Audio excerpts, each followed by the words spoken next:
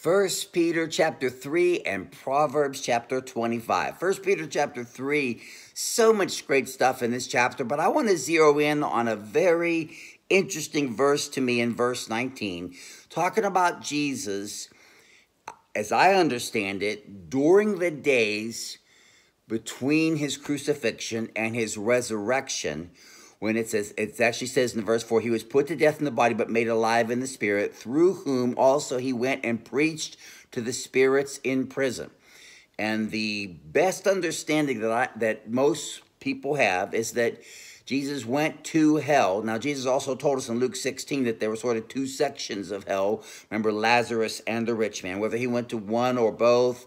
I, I don't really know. It's very possible he went to both. The, the, Bible definitely tells us that he ripped off the gates of hell and chained up all the demons. Ephesians 4 tells us that and dragged them all across um, heaven.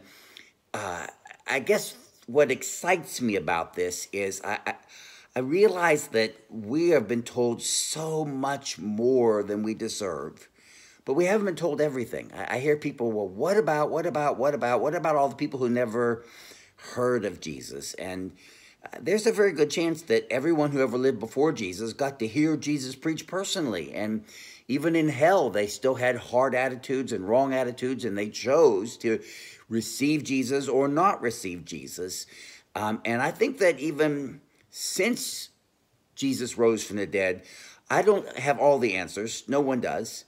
But I do know that God is a just God and God is a loving God, and everyone will be given a chance. And so, um, it's our choice, but I do know this. Everyone that's listening to me and everyone that we know, they know about Jesus. And so when people say, well, what about those who don't know about Jesus? I find it to be a deflection. I say, let's quit worrying about those who don't know about Jesus and let's focus about you who does know about Jesus.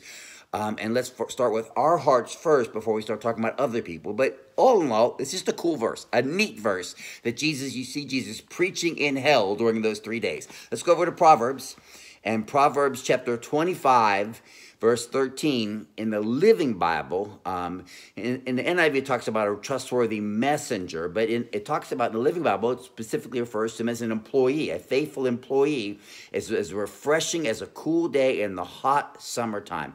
And Beth and I, I don't think a week goes by that we don't talk about the people on our staff and even all of our volunteers and we say we are we are the richest people on the earth. And we have we have uh, people that work with us and work around us that are just they just love their jobs and they love each other and they love the lord and they love serving god's people. And it's just how true this verse is that when you have people that work with you that are refreshing life is easy and life is sweet. So we're so thankful for our team that's around us and for our liberty church family. Hope you are surrounded by people who refresh you this day. God bless you. Have a wonderful day today